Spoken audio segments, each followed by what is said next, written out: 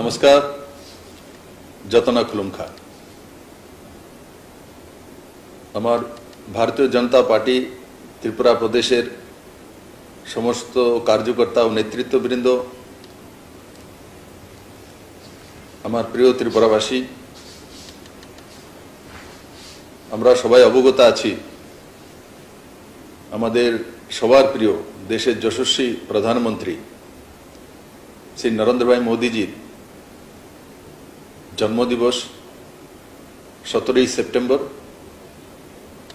প্রত্যেক বছরের না এবারও সেবা पखवाड़ा के नाते পুরো দেশব্যাপী দুনিয়াব্যাপী ভারতীয় জনতা পার্টির প্রত্যেকটি কার্যকর্তা সতেরো তারিখ থেকে নিয়ে দুই অক্টোবর এই সময়ের মধ্যে আমরা সেবা ভাব নিয়ে মাননীয় প্রধানমন্ত্রীজির যে কৃতিত্ব, ওনার যে কর্মনিষ্ঠা, রাষ্ট্রপ্রেম দেশ হিতে কর্মযোগ্য ওনার সুদীর্ঘ আয়ু কামনা করা, স্বচ্ছতা অভিযান, বৃক্ষরোপণ মোদিজির লিখিত বা মোদিজির উপর লিখিত বুকস সমাজের মধ্যে বিতরণ, ভোকাল ফর লোকাল, তার উপরে ভিত্তি করে আমাদের খাদির তৈরি বস্ত্রাদি আর অন্যান্য সামগ্রী ক্রয় করা। তাছাড়া লোকাল আমরা যাই ম্যানুফ্যাকচারিং করছি, একটা নির্দিষ্ট দিনে বিশেষ করে জাতির জনক মহাত্মা গান্ধীর দুই অক্টোবর যে জন্মদিন, সেই দিনে ক্রয় করা। আর তার মাঝখানে পঁচিশে সেপ্টেম্বর আমাদের পার্টির প্রাণপুরুষ, রাষ্ট্রভক্ত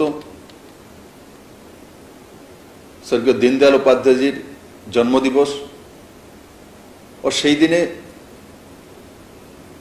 মাননীয় প্রধানমন্ত্রীর মন কি বাত। তো আমি সমস্ত কার্যকর্তা এবং নেতৃত্বদের, আম জনতাকে আগ্রহ করব যে পঁচিশ তারিখ দশটা প্রথমে দীনদয়াল উপাধ্যায়জির জন্মদিবস পালন করা প্রত্যেকটি বুথে বুথে, প্রত্যেকটি কেন্দ্রে, আর তার সঙ্গে সঙ্গে এগারোটা থেকে মন কি বাতে অংশগ্রহণ করা। যে মন কি বাতের যে বিষয় নতুন করে বিষয় আমাদের সামনে আসবে, আমরা তা অনুধাবন করব এবং তাকে আমাদের নিজের জীবনের মধ্যে কীভাবে কাজে লাগাতে পারি তার বিস্তার করব। তাই আমার সমস্ত পার্টি কার্যকর্তা এবং তৎসঙ্গে মাননীয় প্রধানমন্ত্রীজির যে প্রেরণা স্রোত উনার কর্মযোগ্য। কোভিডের সময় আমরা লক্ষ্য করেছি মাননীয় প্রধানমন্ত্রীদের নেতৃত্বে একশো কোটি আবাদির যে দেশ, সে দেশ করোনাকে মোকাবেলা করেছে।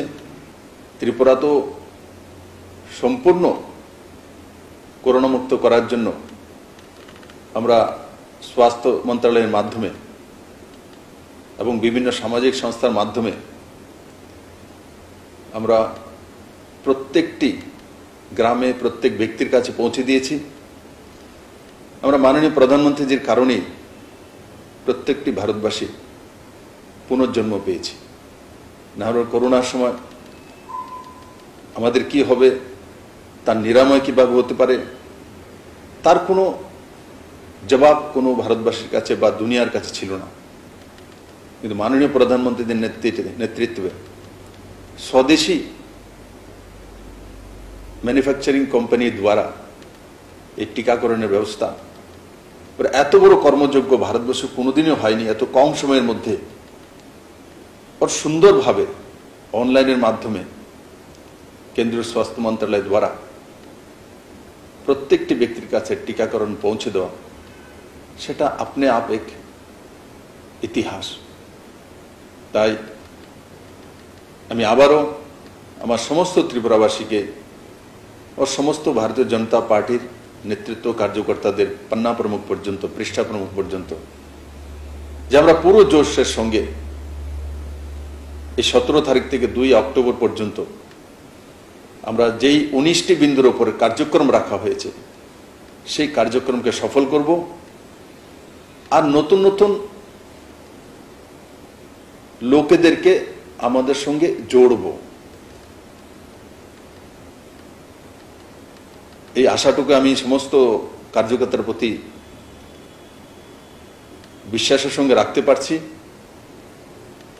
এবং তার সঙ্গে সঙ্গে সমস্ত ত্রিপুরাবাসীকে আমি আহ্বান করব, আসুন সবাই মিলে এই সেবা পাখবড়া যে আমরা সতেরো তারিখ থেকে শুরুয়াত করতে চলছি, তাতে সবাই মিলে ভাগ নিই এবং মাননীয় প্রধানমন্ত্রীর সুদীর্ঘ আয়ুর কামনা করি, সুস্বাস্থ্যের কামনা করি।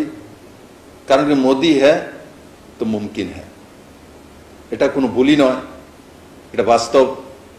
প্রত্যেকটি ত্রিপুরাবাসী সে বিষয়ে অবগত আছেন। কারণ কি মোদির পাঁচ কিলো চাওয়াল প্রতি ব্যক্তি চব্বিশ লাখ ছিয়াত্তর হাজার ব্যক্তির কাছে ত্রিপুরাতে সুসংবদ্ধভাবে পৌঁছে যাচ্ছে আর সঙ্গে সঙ্গে টিকাকরণ প্রতি ব্যক্তির কাছে পুনরায় জীবনদান। সেটাও মাননীয় প্রধানমন্ত্রীর কারণ হয়েছে। তাই আমি প্রত্যেকটি ত্রিপুরাবাসীর কাছে আবেদন করব, নিবেদন করব। নিজ নিজ ইষ্ট দেবতা নিজ নিজ যে ভাবনা, সেটা সামনে রেখে মাননীয় প্রধানমন্ত্রীর দীর্ঘায়ু কামনা করা, ওনার সুস্বাস্থ্যের কামনা করা। কারণ কি মোদিজি রয়েছেন, তো নিশ্চিত আমাদের যে সর্বশ্রেষ্ঠ ভারত, তার রচনা উনি করেছেন। কিন্তু সেই জায়গায় পৌঁছানো আমাদের সবাইকে নিয়ে, সেটাই আমি সবার কাছ থেকে আশা করছি। সবাইকে অনেক অনেক ধন্যবাদ। ভালো থাকবেন, সুস্থ থাকবেন। জয় হিন্দ।